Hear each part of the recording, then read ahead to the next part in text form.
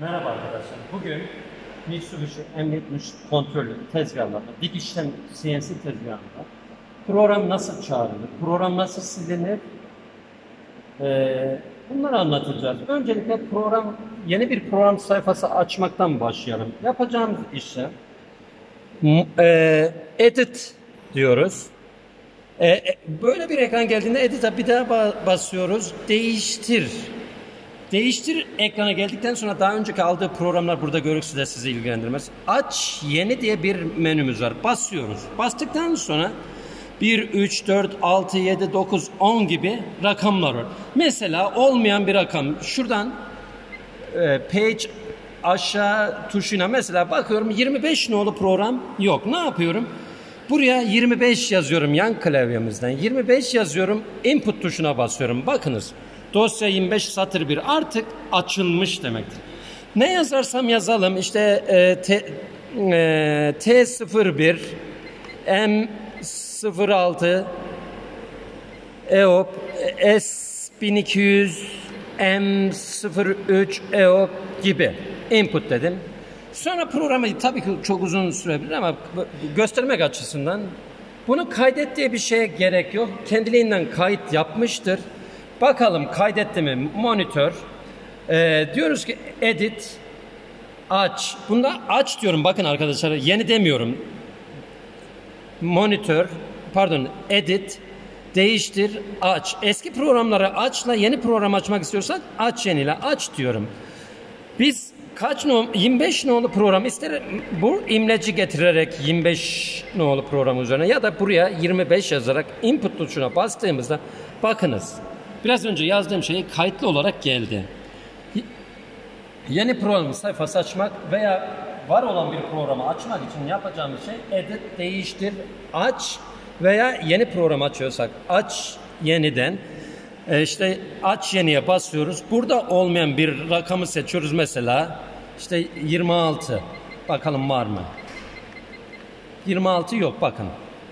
Ya da 33. 33'e bakıyorum yok. Diyorum ki 33 input dediğimde dosya 35 başlayabilirsin program yazmaya.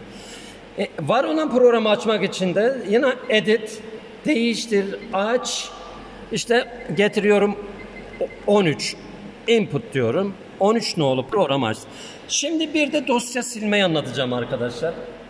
E, hafızada çok yer kapladığını düşünüyor ve bunu silmek istiyorsanız yine geliyoruz. Yine auto pozisyonda yaparsanız daha rahat birçok şeyde uyarı mesajı almanızı önler. Autodayken edit diyorum. E, değiştir.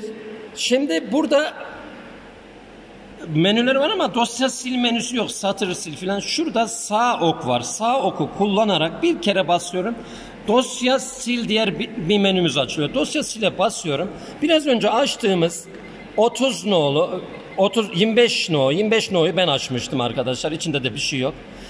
Ee, input yapıyorum. Input yaz, yazıp yaptığımda sileyim mi diyor. Yes, no. Yani garanti almak istiyor kendini. Y'ye basarsam silecek, no'ya basarsam vazgeçecek. Y diyorum. Silme tamamlandı diye silme tamamlandı diye bir uyarı geliyor. Bu uyarı aldığımızda 25 nolu dosya silindi. Aynısını tekrar etmek istiyorum. 30 nolu, 33 nolu dosyayı sileceğim. Edit. Değiştir. Değiştirdikten sonra eğer menü şu şekilde geldiyse sağda sağ ok tuşuna basarak dosya sil menüsüne giriyorum. Buradan menüyü aşağı indiriyorum. 33 noluyu ben açmıştım zaten 0 byte. Ee, Input'a basıyorum. Input'a basınca sileyim mi diye uyarı mesajı geliyor. Yes diyorum sildi. Son olarak arkadaşlar bir de program çağırma. Yani daha önceden kullandığımız programı tekrar çağırıp kullanmayı size anlatmak istiyorum. Yine auto pozisyondayken e, burada auto ışığı yanarken diğerlerinde uyarı mesajı gelecek. Hangi mesajlar gelecek onu da göstereceğim. Auto'dayken edit diyorum. Kontrol diyorum. Daha önce bir şey varsa kontrol reset ve sil tuşlarına basarak kontrol resete basarak reset tamamlandı. Daha önceki program reset çağırma şeylerini arıyor. Kontrol araya basıyorum. Diyelim ki 10 numaralı programı çağıracağım. Geliyorum. Input diyorum.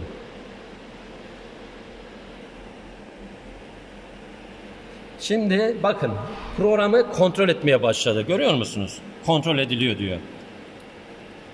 Kontrolünü devam ediyor. Bir grafik olarak program eğer hata varsa hata mesajı gelecek bize. Eğer hata yoksa programımızda kon- program kontrol tamamlandı de- dedikten sonra monitör ekranına geldiğimizde bakın 10 numaralı programı çağırdım. Program numarası burada. Ve 10 numaralı program auto yani otomatik pozisyonda çalışmak üzere buraya aktarıldı. Bu şekilde otomatik çalışma yapar. Şimdi size uyarı mesajı nasıl gelir?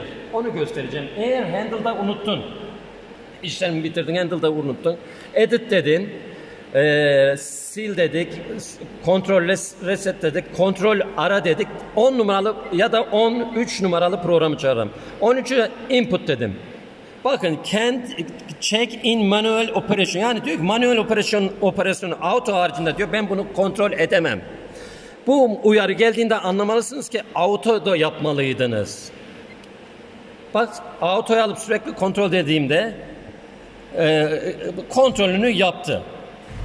E, Mitsubishi işlemcili e, tezgahlarda program nasıl açılır, nasıl silinir bunları anlattık. E, başka bir şey olursa mesaj atabilirsiniz şeyin altına, videoların altına. Teşekkür ediyorum.